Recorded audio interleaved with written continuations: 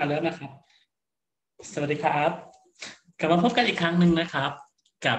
สรรสาระดีๆนะครับ ในช่องหาทำไปเรื่อยช anel นะครับ ก็วันนี้เราจะเดี๋ยวเราจะมาต่อเอ่อ episode ที่ 2 กันนะครับสำหรับภาษาอังกฤษที่เราเลิกใช้แล้วนะครับ so this is the second episode for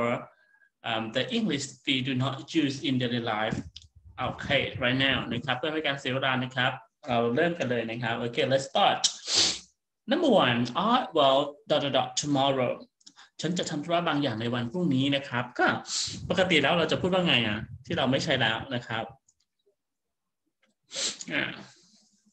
โอเคเพทีนี้ข้อนี้ตอบอะไรเลย ตอบ A นะครับ I will do business นะคำนี้เราไม่ใช้แล้วนะครับอ่า I will do business tomorrow นะครับคำที่เราใช้ก็คือ I will I will run some errands tomorrow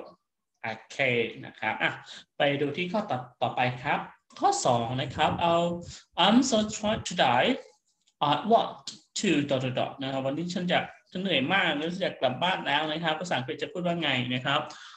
I so tired today today I want to go to home นะครับ เพราะฉะนั้นคำที่ไม่ใช่แล้วก็คือ I'm so tired today I I want to go home เพราะฉะนั้น go home ไม่พูดแล้วนะครับอะไปต่อข้อถัดไปนะฮะ I'm so I'm so glad to meet you today เดดดอดีใจมากได้เจอคุณวันนี้จะเป็นแฟนตัวยุงของคุณเลยนะฮะจะบอกว่าไงในภาษาอังกฤษนะครับอ่าก็จะบอกว่า I'm so glad to meet you today I'm a big fan of yours นะครับเพราะฉะนั้นคำที่ไม่ใช้เลยก็คือคำนี้นะฮะ I'm your fan club ไม่ใช่นะแต่ปกติแล้วเนี่ย เวลาเราใช้คนไทยเราใช้เราจะใช้คำว่าแฟนคลับใช่ไหมครับ แต่แต่ว่าในความเป็นจริงแล้วฝรั่งไม่ใช้คำว่าแฟนคลับเนาะจะใช้คำว่า I'm a big fan of yours นะครับโอเคข้อสี่ครับ number four he said my English dot dot dot นะครับเขาพูดว่าภาษาอังกฤษของฉันไม่ค่อยเท่าไหร่เลยอะคำที่ไม่พูดแล้วก็คืออะไรครับ not good or it's not isn't very good นะครับคำที่ไม่ใช่แล้คือคำนี้นะ not good นะฮะ he said my English not good นะครับนะข้อห้านะครับ how for the movie นะตอนนี้เป็นไงบ้างนะฮะ B บอกว่า it's what so dot dot dot I like it นะฮะคำที่ไม่ใช้คือคำว่าอะไรคำที่ไม่ใช้คือคำว่าอ่า it's what so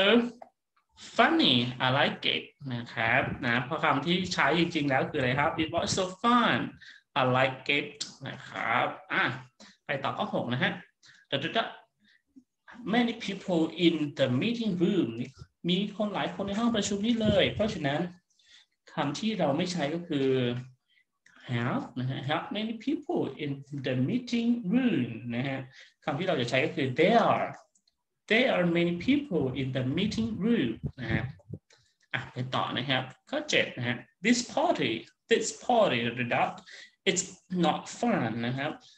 ปาร์ตี้นี้หัวมากเลยอะไม่สนุกเลยคำที่ไม่ใช้คือคำว่าอะไรฮะคำที่ไม่ใช้คือคำว่า is such ซึ่งจริงๆแล้วเราจะต้องพูดว่า this party such it's not fun นะฮะข้อต่อไปนะข้อต่อไป the the dot I never lied to you ฉันพูด ฉันกำลังพูดเรื่องจริง ฉันไม่เคยโกหกคุณเลยนะฮะคำที่ไม่พูดแล้วคืออะไรคำที่ไม่พูดแล้วคือ A I tell truth I never lied to you นะครับคำที่ไม่พูดแล้วคือคำนี้นะฮะ ซึ่งในความเป็นจริงแล้วภาษาอังกฤษเนี่ยเขาจะพูดคำว่า I'm telling the truth I never lied to you นะฮะไปที่ข้อเก้านะครับ you like me you are the dot dot dot me we are the same นะครับ คุณเหมือนฉันเราเหมือนกันเลยนะฮะถ้าเราจะพูดชินคำหนึ่งก็คือว่า same same ใช่ไหมครับเพราะฉะนั้นคำนี้ไม่ใช้แล้วนะนะฮะเพราะฉะนั้นเวลาที่เราจะพูดให้ถูกต้องก็ควรจะพูดว่า you like me you are the same as me be the same นะครับอะสุดท้ายแล้ว I dot dot dot a boyfriend ฉันไม่มีแฟนคำที่ไม่พูดแล้ว พูดว่าไงครับคำที่ไม่พูดแล้วคือ I know have a boyfriend นะฮะ